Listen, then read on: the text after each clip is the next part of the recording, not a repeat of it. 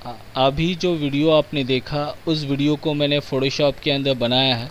तो इस टाइप के जो वीडियोस हैं, अक्सर आपने फ़िल्मों में देखा होगा, फ़िल्मों के टीज़र में देखा होगा, फ़िल्मों के ट्रेलर में देखा होगा फ़ोटोज़ कैसे मूव कर रहे हैं।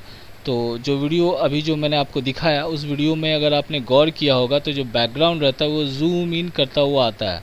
और जो ऑब्जेक्ट रहता है, वो जूम आउट होता है। तो बहुत ही सिंपल है फ़ोटोशॉप के अंदर उस तरह के वीडियोज़ बनाना। तो चलिए देखते हैं कैसे बनाते हैं। फ़िलहाल मैं फ़ोटोशॉप 2021 यानी 2021 का यूज़ कर रहा हूँ क्योंकि देखिए 2021 में आ, बहुत सारे ऐसे फीचर्स हैं जो पुराने वाले वर्सन में नहीं है। तो चलिए अब देखते हैं कैसे बनाते हैं और, और स्टार्टिंग से मैं आपको बताऊँगा। तो फ़िलहाल मैं इसे क्लोज़ कर देता हूँ। तो सबसे पहले आप फ़ोटोशॉप को आपको ओपन करना होगा। ओपन करने के बाद यहाँ पे देखिएगा क्रिएट न्यू का बटन दिया हुआ है। इस पर क्लिक करेंगे। ये मैंने क्रिएट न्यू पे क्लिक किया। उसके बाद न्यू डॉक्यूमेंट का इस तरह का एक डायलॉग बॉक्स खुलता है। अब यहाँ पे देखिएगा बहुत सारे ऑप्शंस दिए हुए हैं। तो यहाँ से मैं लूँगा ये फ़ोटो वाला ऑप्शन मैं चूज़ करूँगा यहाँ से। ये देखिए फ़ोटो वाला ऑप्शन पे मैंने चूज़ किया। और यहाँ पे ये वाला साइज़ लूँगा। डिफ़ॉल्ट फ़ोटोशॉप साइज़ दिया है। 12 बाई सोलह बाई बारह सेंटीमीटर का साइज़ दिया हुआ है। ये वाला मैं चौड़ा चौड़ा डिज़ाइन थोड़ा अच्छा लगेगा। ये लैंडस्केप ये भी चूज़ कर सकते हैं। तो फ़िलहाल मैंने इसको चूज़ किया। और राइट हैंड साइड में देख सकते हैं उसका साइज़ दिया हुआ है। सेंटीमीटर में आप इसे चाहे तो इंचज़ में भी ले सकते हैं, कोई दिक्कत नहीं है। तो यहाँ पे 16 सेंटीमीटर है हाइट जो है आपका 12 सेंटीमीटर रेजोल्यूशन 118 का है। और यहाँ पे पिक्सल सेंटीमीटर में दिख रहा है। बाकी जो सेटिंग एज इट इज़ है, और यहाँ पे क्रिएट पे मैं क्लिक कर देता हूँ। क्लिक कर दिया। क्लिक करने के बाद जब आप ओपन करेंगे तो नीचे आपको इस तरह से वीडियो का जो क्रिएट वीडियो टाइमलाइन नहीं रहेगा। तो वो भी मैं आपको दिखाऊँगा। तो फ़िलहाल मैं इसे क्लोज़ करता, कर देता हूँ। तो देखिए, इस तरह से आपको एक डॉक्यूमेंट इस तरह से आपको पेज दिखाई देगा। अब लेयर का पैलेट में अगर गौर कीजिएगा तो बाय डिफ़ॉल्ट एक बैकग्राउंड का यहाँ पे लेयर दिखाई देता है।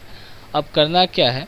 यहाँ से उस फ़ोटो को लेकर आते हैं। तो फ़ाइल में जाते हैं। जाने के बाद यहाँ ओपन पे मैंने क्लिक किया। क्लिक करने के बाद ओपन का इस तरह का डायलॉग बॉक्स आता है। डेस्कटॉप पे वो फ़ोटो रखा हुआ जो जिस फ़ोटो से हम लोग अभी यानी फ़ोटो को मूव कराएँगे।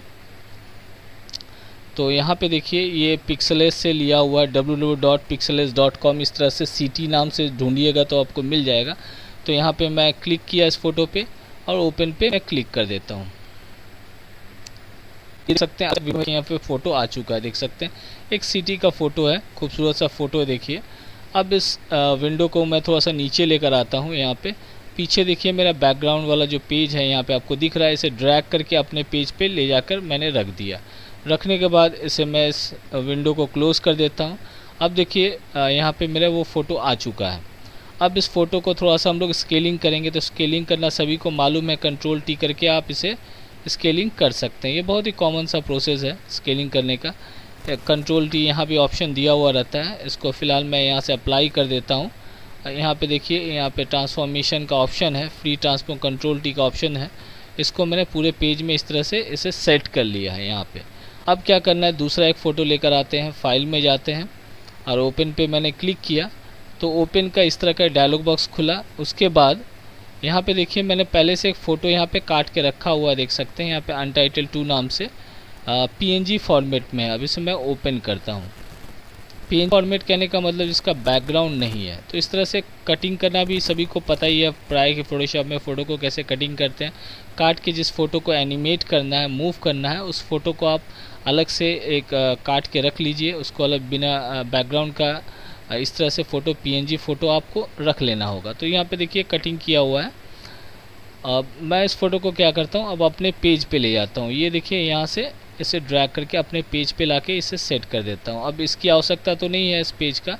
अब इसको मैं क्लोज़ कर देता हूँ। देखिए फ़ोटो मेरा यहाँ पे आ चुका है। इसको भी कंट्रोल टी करके यहाँ से थोड़ा सा मैं स्केलिंग यहाँ तक कर देता हूँ। ये देखिए, जैसे यहाँ तक मैं इसको लगा देता हूँ। इसको यहाँ से बीचों बीच यहाँ पे लगा दिया। थोड़ा चौड़ा करना है तो चौड़ा कर सकते हैं। ये देखिए मैंने इसको लगा दिया। हो जाने के बाद अब इसको अप्लाई कर दिया कंट्रोल टी करके। सेट कर लिया देखिए पीछे बैकग्राउंड देख सकते हैं यहाँ पे एक फ़ोटो है प्लस यहाँ पे देखिए एक आ, एक मॉडल का फ़ोटो है जो जिसका बैक पोर्शन हमें दिखाई दे रहा है जो शहर को देख रहा है यहाँ पे। अब करना क्या है लेयर के पैलेट में चले जाएँगे। अब देखिए हमारे पास तीन लेयर है तो बैकग्राउंड वाला लेयर हमें नहीं चाहिए तो इसको आप इस तरह ड्रैग करके इसे डिलीट कर दें। डिलीट कर दिया अब हमारे पास दो लेयर बचा हुआ देख सकते हैं। अब ये जो बैकग्राउंड वाला लेयर है उस पर राइट क्लिक कीजिए। अब यहाँ से मैं इसे कन्वर्ट टू स्मार्ट ऑब्जेक्ट पे क्लिक कर देता हूँ। इससे फ़ायदा ये होगा, इसका जो जितना भी बड़ा करें, इसका जो क्वालिटी है एज इट इज़ रहेगा, इसलिए मैंने ये स्मार्ट ऑब्जेक्ट कर लें। क्योंकि ट्रांसफॉर्म जब करेंगे टाइमलाइन पे ट्रांसफॉर्म का ऑप्शन ऐसे नहीं आएगा। तो इसको स्मार्ट ऑब्जेक्ट में आप उसे कन्वर्ट करें। तो ऑटोमेटिकली जब हम लोग टाइमलाइन पे यूज़ करेंगे तो देखिएगा वहाँ ट्रांसफॉर्म का एक ऑप्शन आपको ऑटोमेटिकली दिखेगा। नहीं तो अगर नहीं कीजिएगा स्मार्ट ऑब्जेक्ट तो ट्रांसफॉर्म का वो ऑप्शन नहीं दिखाए, दिखेगा। अब यहाँ पे दूसरा वाला जो लेयर है उसको भी मैंने सिलेक्ट किया राइट क्लिक किया। अब यहाँ पर कन्वर्ट टू स्मार्ट ऑब्जेक्ट इसको भी कर दिया। अब दोनों को मैंने स्मार्ट ऑब्जेक्ट कर दिया है। अब यहाँ से जो ये जो ऑब्जेक्ट है ये वाला ये जो मॉडल है इसको मैंने क्लिक किया इसको सिलेक्ट किया हुआ है। अब क्या करना है हमें? यहाँ पे ये जो मेनू बार आपको दिखाई दे रहा है यहाँ विंडो में जाएँ। जाने के बाद नीचे आए आ, आएँगे तो यहाँ पे देखिए टाइम लाइन टाइम लाइन पर आपको क्लिक करना होगा। क्लिक करने के बाद क्या होगा? इस तरह का एक टाइमलाइन का इस तरह से आपको एक विंडो इस तरह दिखाई देगा। अब यहाँ पे गौर कीजिएगा क्रिएट वीडियो टाइमलाइन अभी आपको कुछ भी यहाँ पे लेयर फेयर कुछ भी नहीं दिखाई दे रहा। आपको यहाँ पे क्रिएट वीडियो टाइमलाइन पे आपको क्लिक कर देना होगा। जैसे ही आप क्लिक करेंगे तो लेयर्स में जो आपका लेयर टू लेयर वन यहाँ पे आपको दिखेगा। देखिए सेम उसी टाइप का लेयर यहाँ पे भी आपको दिख रहा है। देखिए टाइमलाइन का ये विंडो पे आपको यहाँ पे दिखाई दे रहा है देखिए। यहाँ पे देखिए लेयर टू में ये फ़ोटो दिख रहा है देख सकते हैं। यहाँ भी लेयर का पैलेट में देखिए यहाँ भी लेयर टू दिखाई दे रहा है। ये टाइमलाइन के विंडो में भी सेम उसी तरीके से आपको दिखाई देगा। देखिए लेयर वन में ये बैकग्राउंड है। यहाँ पे देखिए लेयर वन में यहाँ पे भी बैकग्राउंड है। अब करना क्या है? देखिए एनिमेशन कैसे करना है? ये जो पेज है थोड़ा सा हम इसे चाहें तो आप यहाँ से छोटा भी कर सकते हैं जिससे आपको दिखाई दे। यहाँ से जूम करके यहाँ से कर सकते कर, आ, कर सकते कोई दिक्कत नहीं है। तो उसके बाद क्या करना है? यहाँ पे सबसे पहले गौर कीजिएगा, यहाँ पे लेयर टू ये वाला जो है, इसको आपको सिलेक्ट करना है। यहाँ पे मैंने सिलेक्ट कर दिया। अब यहाँ पे देखिए जो लेयर टू लिखा हो ठीक उसके यहाँ पे देखिए, एक राइट हैंड पॉइंटिंग करता हुआ आपको यहाँ पे एरोनुमा साइन दिखाई देगा। इसको क्लिक करेंगे तो इसके साथ जो फोल्ड किया हुआ जो जो ऑप्शन है, यहाँ पे आपको ये जो ट्रांसफॉर्म दिखाई दे रहा है, यहाँ पे आपको दिखाई देगा। ट्रांसफॉर्म है ओपेसिटी है, फिर स्टाइल है। अगर आपने अगर आपने स्मार्ट ऑब्जेक्ट नहीं करेंगे तो ये ट्रांसफॉर्म का यहाँ पे ऑप्शन नहीं दिखाई देगा। इसलिए मैंने यहाँ पे यहाँ पे सबको स्मार्ट ऑब्जेक्ट कर दिया है। तो ऑटोमेटिकली यहाँ पे ट्रांसफॉर्म का ऑप्शन आपको दिखेगा। ये है आपका की फ्रेम अभी देखिए टाइमलाइन के स्टार्टिंग में, देखिए टाइमलाइन स्क्रबर ये जो टाइमलाइन है, यहाँ पे स्टार्टिंग में ही आपको रखना है इस तरह रखा। रखने के बाद ये जो ट्रांसफॉर्म का की बटन दिया हुआ है, इस पर क्लिक करेंगे। तो आप छोटा सा एक देखिए, यहाँ पे आपको, यहाँ पे एक देख सकते हैं, यहाँ आपको ये देखिए राइट क्लिक करके यहाँ पे देख सकते हैं। इसे आप डिलीट भी कर सकते हैं। तो अभी डिलीट तो करना नहीं है। फ़र्स्ट यहाँ पे दे दिया है। देख सकते हैं ट्रांसफॉर्म का। अब यहाँ पे एक पॉइंट आ चुका है। अब दूसरा क्या करना है? ये जो आपका टाइम लाइन ठीक इसको ड्रैग करके एकदम लास्ट वाले पे ले जाता है, आखिरी पे। रखा। रखने के बाद यहाँ पे देखिए, ये जो टाइम लाइन पहले तो यहाँ पे दिया की फ्रेम लगाया एक। दूसरा यहाँ पे एंडिंग पे टाइम लाइन को ले जाकर रख दिया। रखने के बाद अब का क्या करना है? कंट्रोल टी करना है। अदरवाइज़ आप एडिट में जाएँ। यहाँ से भी देखिए ऑप्शन है फ्री ट्रांसफॉर्म इस पर क्लिक करें। तो इस तरह आपको स्क्वायर इस तरह दिखाई देने लगे। अब इसको क्या करना है? जूम आउट करना है। तो कॉर्नर ऊपर पे रखा मैंने और ऑल्ट और शिफ्ट एक बराबर में अगर इसे छोटा करना ऑल्ट और शिफ्ट पढ़ के आपको नीचे की तरफ़ ड्रैग करना है। तो ये देखिए, अब मैं ऑल्ट शिफ्ट नहीं कर रहा हूँ सिंपली कॉर्नर पकड़ के इसको हल्का सा देखिए इस तरह में ले जा रहा हूँ। देखिए सिंपल से। एक पोर्शन से ये देखिए, मैं इसको नीचे तक यहाँ तक लेके चला आया। लाने के बाद, अब यहाँ पे देखिए, इसको इंटर दबाइए या तो ये वाला मूव टूल पे क्लिक कर दें। अब क्या होगा? अब इसे थोड़ा एनिमेट करके अगर देखेंगे, देखिए यहाँ पे अगर मैं इसको एनिमेट करके देखना चाहूँगा, हो सकता है अभी मैं रिकॉर्डिंग कर रहा हूँ तो हो सकता है आपको वो स्मूथनेस नज़र नहीं आए, लेकिन जूम आउट ये देखिए जूम आउट होगा। देखिए, मैं इसको यहाँ से प्ले कर देता हूँ। ये देखिए। हो सकता है आपको रुक रुक के दिखाई दे, क्योंकि मैं स्क्रीन स्क्रीन रिकॉर्डर का यूज़ कर रहा हूँ, लेकिन अगर आप करेंगे तो स्मूथनेस आपको नज़र आएगा। देखिए, एकदम ठीक आस्ते आस्ते आस्ते करते करते ये टाइम लाइन चल रहा है। यहाँ पे देखिए, एकदम आखिरी तक आके जूम आउट हो चुका है। ये तो हो गया। अब हो जाने के बाद ये जो बैकग्राउंड वाला है, अब ये तो जूम आउट होकर ये अंदर की तरफ़ चला गया। अब इसको थोड़ा सा यहाँ से एकदम जूम होता हुआ, अब इसको क्या करेंगे? इसको, इस पर भी हम लोग की फ्रेम लगाएँगे, इसको भी थोड़ा जूम करते हैं। तो ये जो टाइमलाइन स्क्रबर है, एकदम एंडिंग पे है, इसको हम लोग क्या करते हैं, ये लेयर टू को फोल्ड कर देते हैं। अब ये पहले वाला काम हो चुका है। अब ये जो टाइमलाइन है, देखिए यहाँ पे एंडिंग में, इसको आगे लाने के लिए या तो इसको ड्रैग करके ले आइएगा। अदरवाइज़ यहाँ पे बटन दिया हुआ, अगर मैं इसमें क्लिक करता हूँ, देखिए go to the first frame तो ऑटोमेटिकली आपका टाइमलाइन यहाँ पे पहला फ्रेम में आ जाएगा। अब क्या करना है, जो लेयर वाला दूसरा वाला, जिसमें आपका बैकग्राउंड है बैकग्राउंड वाला लेयर इस पर क्लिक करें। अब बैकग्राउंड लेयर सेलेक्ट हो गया। हो जाने के बाद ये जो लेयर का यहाँ पे जो लिखा हुआ है, यहाँ पे आएँ टाइमलाइन के ये विंडो पे यहाँ पे जाएँ क्लिक करें। थोड़ा सा इसको मैं ऊपर कोशिश कर रहा हूँ, ऊपर ले जाऊँ। थोड़ा सा ये देखिए, मैं थोड़ा सा ऊपर लेके आता हूँ, ठीक है? जैसे आपको दिखाई दे, छोटा लग रहा नीचे ही ठीक था, चलिए।